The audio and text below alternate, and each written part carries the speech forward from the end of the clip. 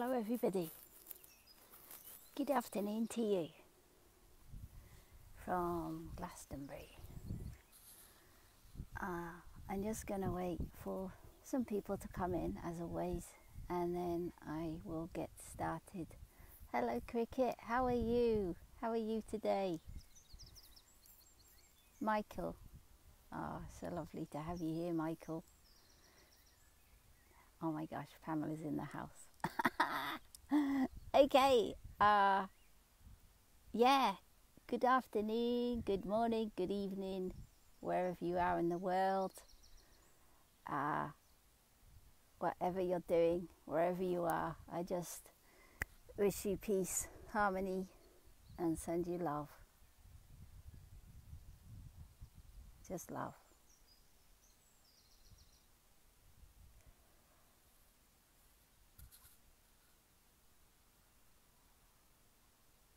I just feel it's time to put some data behind the word love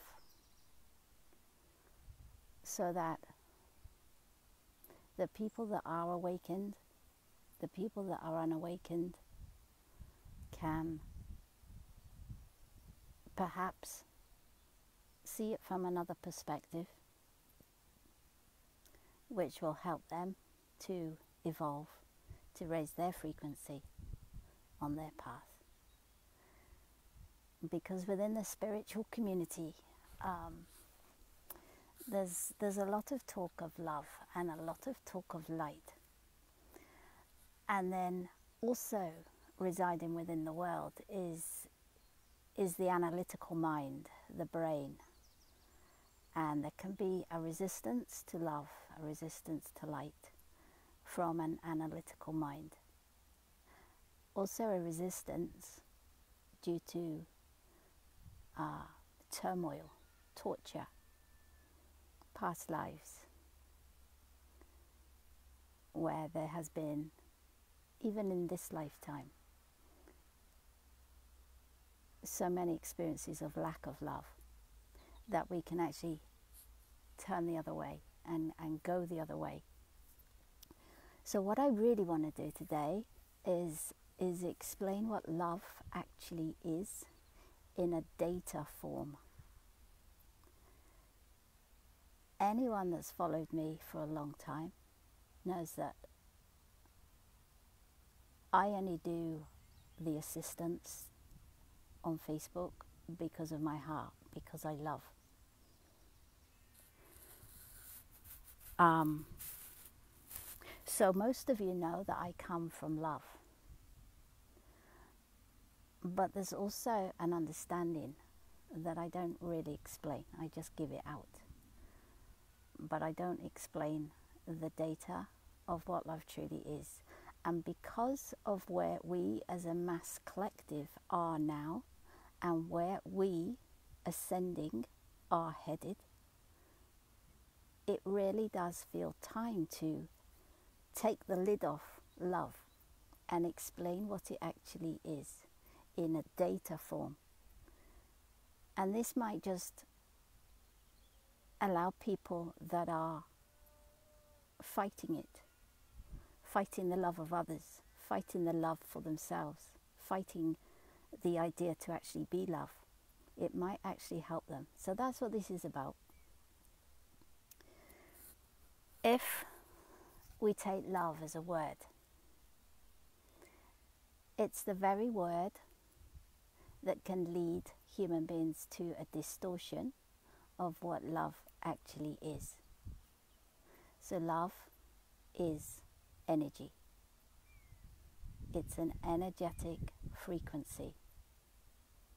So, just as we experience feelings, emotions such as um, happiness, joy, um, loneliness, pain, sadness, anger. Those are all energetic energetics of different frequencies. Love is also an energy of a specific frequency. If we take Um, and we'll go up through dimensions just to explain how love is experienced and how it evolves, how it becomes more and more and more subtle as we go higher and higher in our internal energetic frequency. So, if just get a blade of grass, if we take this as as showing frequency that's rising, okay? Showing frequency that's rising. We can experience love here in the third dimension at that frequency of consciousness that we are. And we can easily say that we have been in love. I can say that, that we've been in love with somebody and we have felt such a love for that person, and yet we're unawakened and our consciousness is there. Okay. That is a specific frequency plane, a consciousness plane that our consciousness can experience. There, right there, third dimension. So we can experience love, yes, absolutely.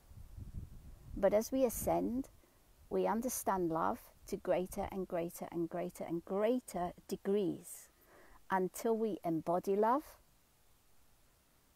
and then until we connect to the source of all love, which is God, source, and then we get to create with that love. So I'm going to explain that. In a third dimensional consciousness, we can experience unconditional love as well as conditional love. So, conditional love would be that I love a person if they give me this, or I love a person if they act a certain way towards me. If that person fulfills my needs, and I stress the word need as a need within my unawakened humanness, if that person fulfills the needs that I have, and those needs are things that I am not giving to myself, therefore I look outside of myself for somebody to satisfy those needs. If that person satisfies my needs, then I will love them. And if the person doesn't satisfy my needs, then I will choose not to love them. And so that is, is, an, is a conditional love. I'm trying to explain the different types of love. That's a conditional love. It's love with conditions that I will give you love if you give me this, if you give me that, because all of this and that I am not in that moment giving to myself. Or let's take it in a simpler form I will give you love if you go out to work and provide the financial income for me to live comfortably. I will give you love. It's, un- it's conditional love. So then, in that same third dimension, we can experience unconditional love. Yeah, absolutely. We may not be able to define it that way because of our consciousness, but we can experience unconditional love. So, for those of you that are mothers, when you first see your baby born, you require nothing of that baby. Nothing. You just want to love it and care for it, nurture it. You want to keep it safe. But there's nothing that you're asking of that baby. You just have unconditional love. And if you're not a mother, I'm not a mother, you could experience that unconditional love with an animal. I uh, many years ago I I took in an orphan duck, Indian runner duck that had a bad leg and nobody wanted it. It was all on its own. And I, I just knew I had to give it love, that it had to have love. So I took it into my house at the time and reared it in my bedroom and I just gave it love. That's all I wanted to do was allow it to feel loved because it wasn't.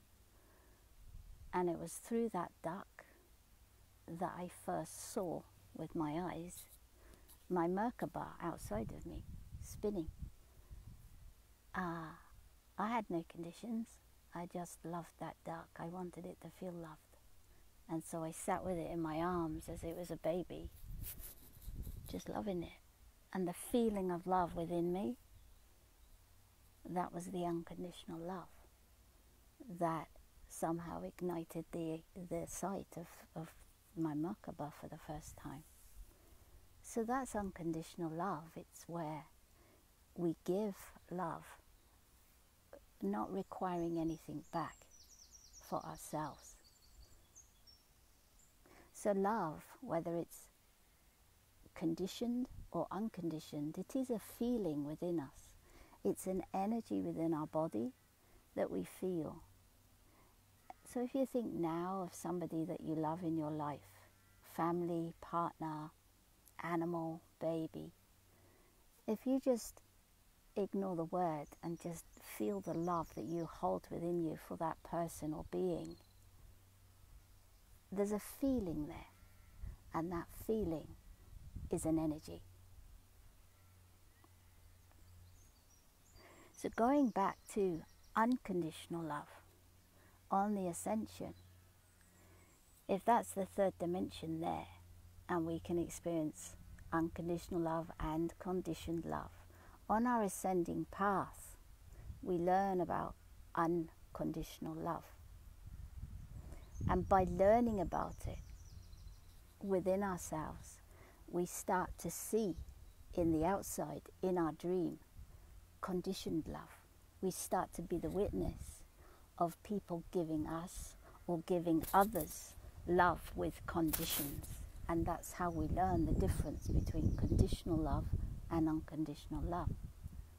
But it's still an energy. Conditional love if that is energetic frequency rising higher and higher in frequency as we ascend up higher and higher in our energetic state, a conditioned love has a frequency of, say, here, okay? Unconditional love, and this is just for the sake of explaining as an analogy, conditional love has a higher frequency of here. So it is love. It's just how much, to what degree do we experience this energy in terms of the frequency within our body. It's energy. How much of that frequency have we embodied? There's the conditional love and there's the unconditional love. And so we start on the ascending path to start to look at the lack of love that we're giving to ourselves. It's something we all have to do. And I'm aware that there may be people watching that still don't have love for themselves. And so, again, that's a really a why I also want to come on is to really try and be the catalyst to help you to start to have love for yourselves. Because until you love yourself fully, until you give all that love that you require from outside in your dream, until you are able to give all of that to yourself easily in any moment, you can't give out all love to others. And so, anyone that's not feeling love for themselves, I can honestly say I didn't love myself. I was given an internal download years ago to love myself fully. And as soon as I heard that, I said to myself, well, that's never going to happen. that's never going to happen. But I worked on it just a piece at a time. Just a tiny piece at a time. It's not instant. But if you have the desire to be all love to all things, why would you not be love to yourself? Where does love come from? What is love? Love is God's energy. That's what it is. It's energy. We can call it love, but it's actually an energy of God that we receive and experience as consciousness in a microcosmic form. So, an unawakened feeling conditioned love for a person, they may well love that person with all their heart and all their might. But if it's conditioned love, it's an energy frequency that's here. It's God's energy experienced at this frequency. And then when we start to love ourselves, we end up being the love within for ourselves. That means if I felt lonely, I could love myself in that moment and not feel lonely. If I felt hurt by something that happened from the dream, I could go in and love the one that is hurt and no longer feel hurt because I am giving that love to myself. I'm not relying on the outside to give me that love in order to make me feel good. So you become self sustaining, you become love. And then what happens is you have that love within you that you wish to then give out to all things. And you're giving that unconditional love out, not because you want something in return, not because you've had a mind thought of, oh, if I give love, I might get that back. No, no, no, no, no. You just give love because you are it, because you're full of it, because if you don't, you'll burst. It's an energy that you're giving out, though.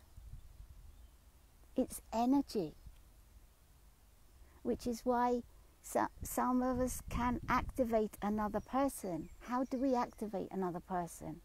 We activate through our hearts by being love in that moment, not through the mind, not through a conceived idea of, oh, if I do this, that person will be activated. It's not through the mind, it's through the heart. It's in the moment of now that we do it. It's when we allow that heart portal to expand and expand and expand. And then all we are doing is being almost like a conduit where the love of Source comes through us, through our heart portal, out of our heart portal to the birds, to the person in need, to that animal, to your mother, to the clouds, to the flowers. You become the conduit it's a conduit. It, it's like it's like a conduit where you're so open in your heart that you can easily receive the love of Source to give out. So you're not giving it out for reward, you're not giving it out for gain. You have zero expectations.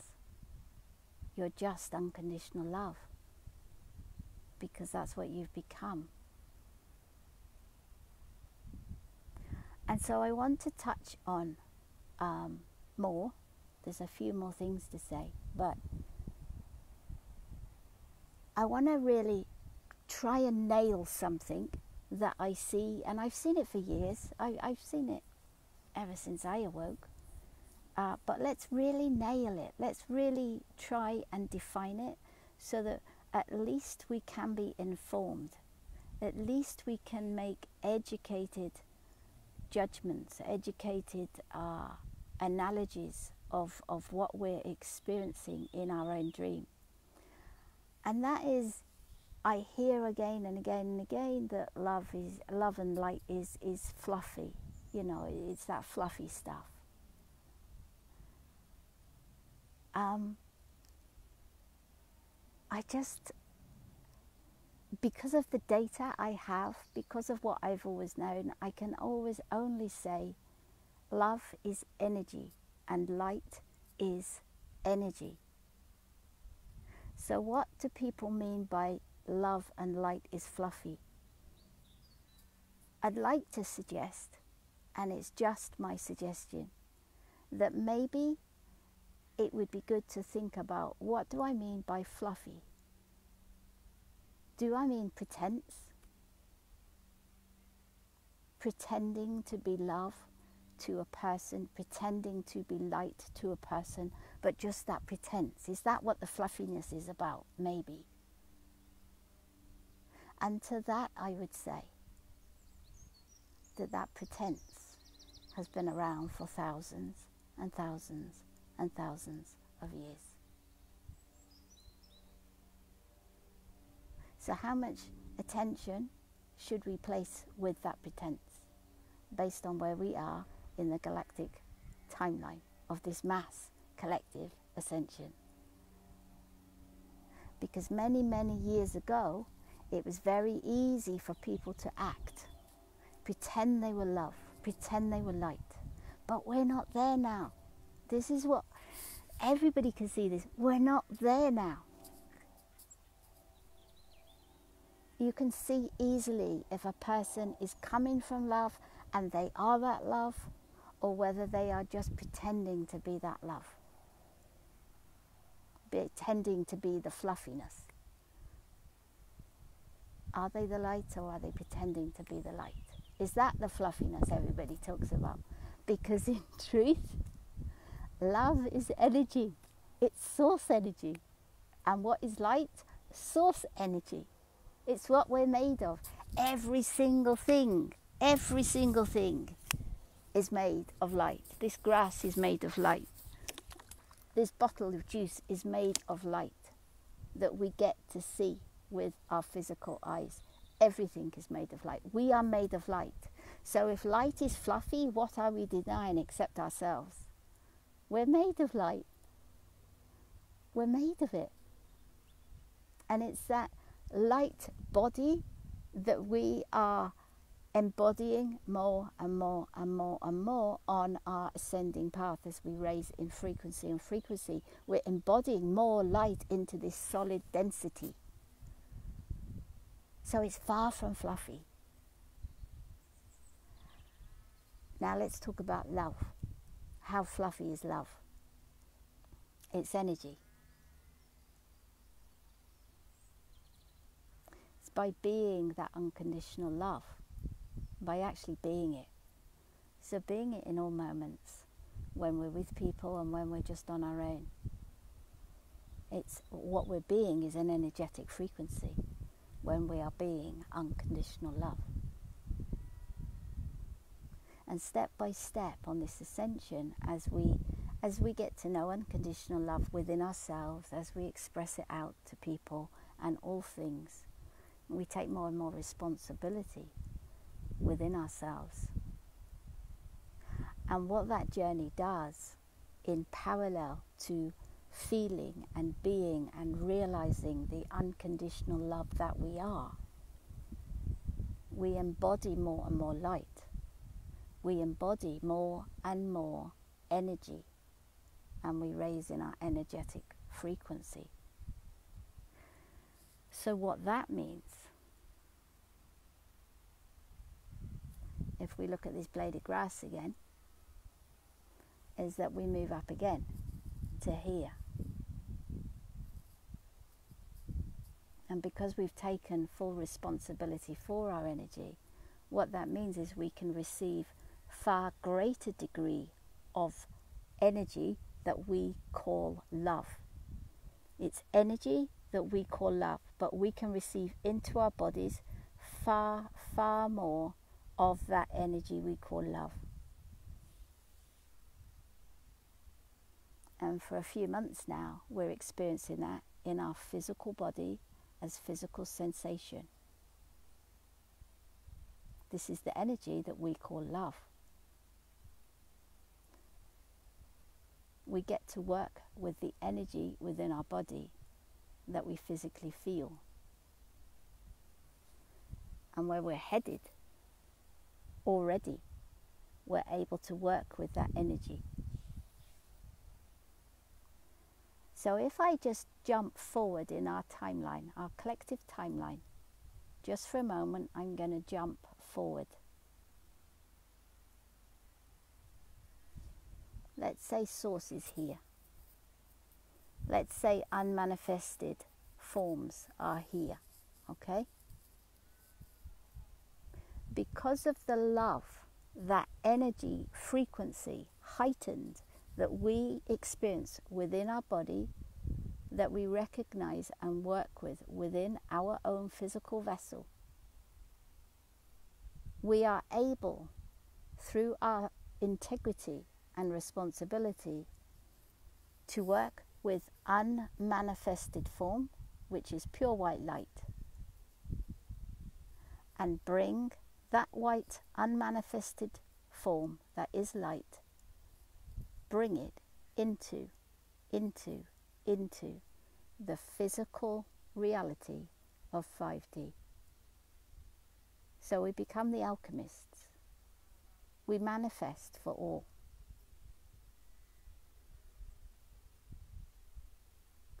So love is far from weak.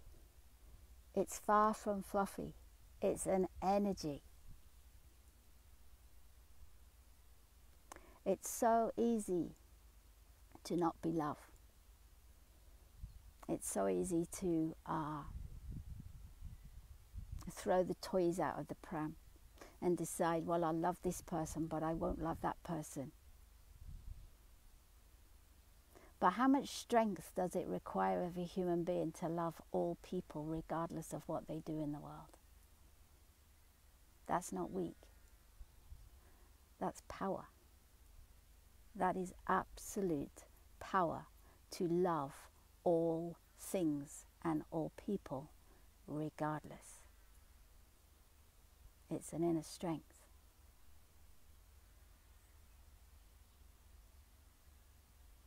It's also in alignment with the creator of all those things. Because every single thing that is made of light has been born of God, of the Creator.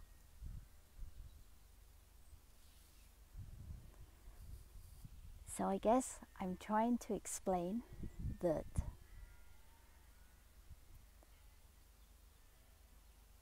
if we can't embrace love as this beautiful, beautiful feeling within us that we feel, which it is,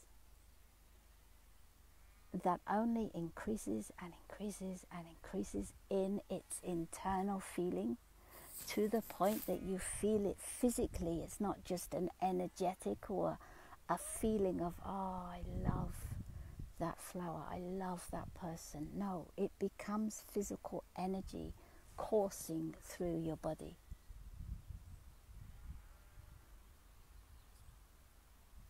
And then from that, sustaining that, being that as your way of being through your choice, through my choice, we become more and more aligned to Creator. And we can easily say that through history, and uh, even within these times, there are beings uh, on the planet that have tried to um, distort and abuse that energy that we feel within our bodies. But I just want to remind everybody with that is that um, you just get some more grass the ones that do distort that energy, the ones that do try to abuse the energy within the body, they can only stay at the third dimensional level or the fourth dimensional level. And they can only play in the astral planes. They can't go any further. They can't go into fifth and higher unless they too become that love frequency because there's no entry into fifth unless all of those distortions within the human being, those desires to overpower, those desires to control, those desires to abuse, etc., etc., unless those distortions are cleared within them. So those frequencies just remain within the third and the fourth dimension. They can't go to the fifth unless they clear themselves. So we can say that yes, there still is and there has been human beings on the planet that have tried to utilize those energies in a distorted way, in a way to keep the power from the people, in a way to uh, deny people their own innate power that is within them. But where we are now, and what human beings are actually doing through their ascension and through their own internal work, because of the galactic timeline that we are in now, there is nothing that those energies can do to stop what has already started. Because there are people all over the world today that are working with the internal energies through the love that they are, through that unconditional love, through that service to the whole. It's already here.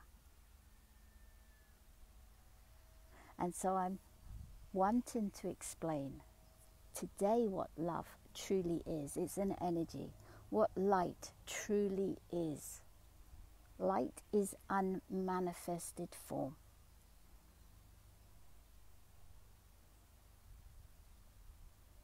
And the reason I'm really wanting to explain it now is because of the times ahead.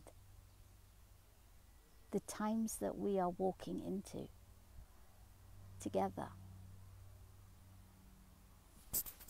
We haven't been at this point before. It really is an alignment of the brain and the heart. If the brain wishes to know more, go into the heart, and the heart will show the brain. Go within.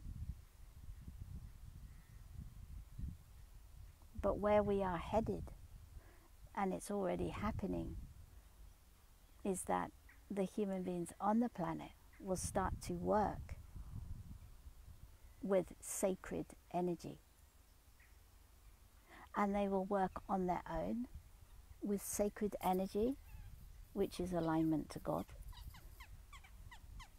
They'll work with one other person with sacred energy and they'll work in groups with sacred energy. And the only way to work with the sacred energy in order to draw down from the unmanifested light state and manifest on the planet, the only way for that to be so and to actually happen is through the frequency of love. It's not through the mind. It's through the heart, it's through love. And then the mind understands the heart, and then the mind works with the heart.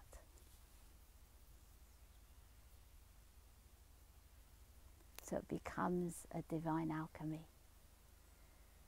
a unified divine alchemy, where the energy that we work with is God's energy on this physical plane, on this planet and we've never been here before. But it's already started. It's happening behind the scenes. People are feeling it, I know for well. Uh, people are working with it already quietly. It's here. But it's only through love. It's only through, you know, really understanding what love is and then making a choice. And if that choice is to to, to disregard love, then you know that's a choice as well. I'm not here to to try and change anyone's mind, but at least if you're informed about what love actually is, that it is an energy, that's what it is, then at least you can make an informed choice for yourselves.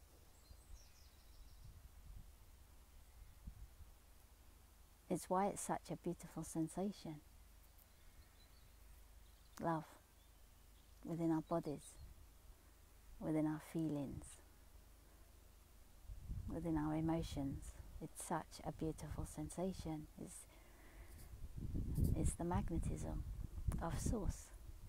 It is Source. Love is the energy of God. How much do we wish to experience that? And what do we wish to do with that? We create with it. That's what we do. We create with it together, unified, in awareness for the whole. So I hope that helps a little bit. Um, because of what's unfolding, the times ahead for humanity.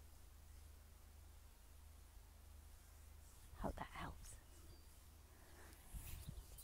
Um, God bless you all. I hope your day goes well for you. Whatever you wish that to be. And I just send you so much love.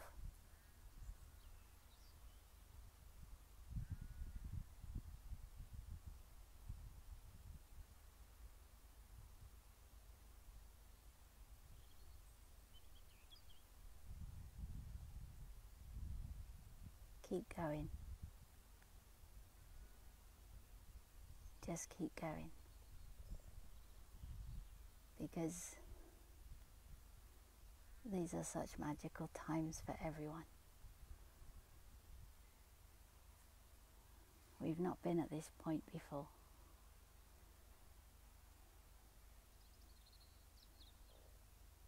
To find that strength within you each day.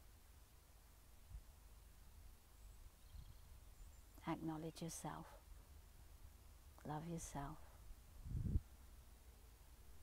All the power, all the energy is within you. It's within you.